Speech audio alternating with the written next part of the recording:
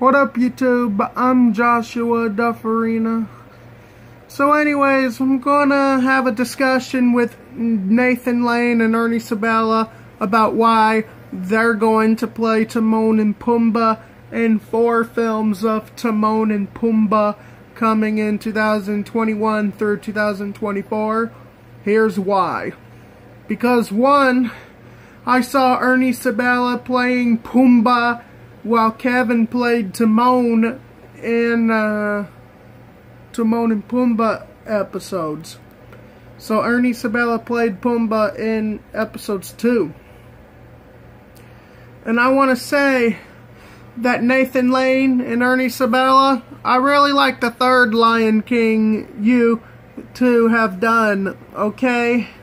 I like that film titled Lion King One and a Half and I liked um you. I liked I liked your character Timon and I liked your character Pumbaa, Nathan Lane and Ernie Sabella. I know everything about Hakuna Matata you just taught Simba. And I want to say that um the only characters that will feature with Timon and Pumbaa in all four films is Simba and Bunga. You know Bunga from The Lion Guard.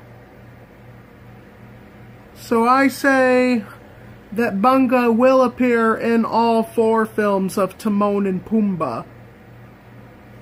So I say young Simba will be in all four films of Timon and Pumbaa okay? And here's why. Because you taught Simba Hakuna Matata in the first Lion King film, which I was proud of.